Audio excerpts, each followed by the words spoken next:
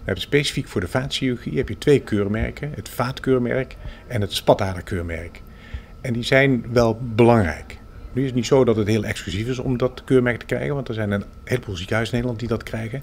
Maar er is wel een set van, van uh, kenmerken en, en kwaliteiten waar een ziekenhuis aan moet voldoen voordat je het keurmerk krijgt.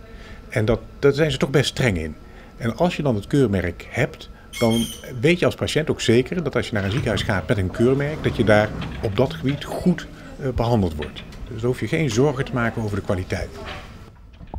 Heel veel ziekenhuizen hebben dat keurmerk. Maar waarin onderscheidt het Katrine ziekenhuis zich dan nog? Want die hebben een speciaal hart- en vaatcentrum. Ja, dat, dat is natuurlijk iets apart. Dat is hetzelfde als met keurmerken zeg maar, bij, bij huishoudelijke apparatuur. Dan, wordt er, dan weet je dat het goed is, dan weet je dat het veilig is. Uh, maar je hebt natuurlijk heel veel verschil in kwaliteit. Ook bij apparaten die je in huis hebt. Sommige apparaten doen hun werk goed, andere apparaten hebben bijzondere functies of doen het nog beter. En dat is met Katrien Ziekenhuis natuurlijk ook. Katrien Ziekenhuis is, uh, is sterk in oncologie en hart- en vaatziekten.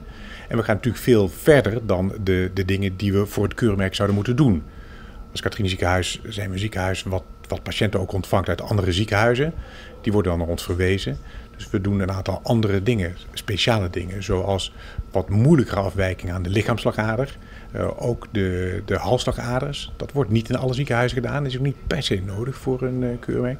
Maar dat, die worden dan wel naar ons verwezen en die worden dan gedaan. Dus dat doen we eigenlijk nog bovenop het keurmerk.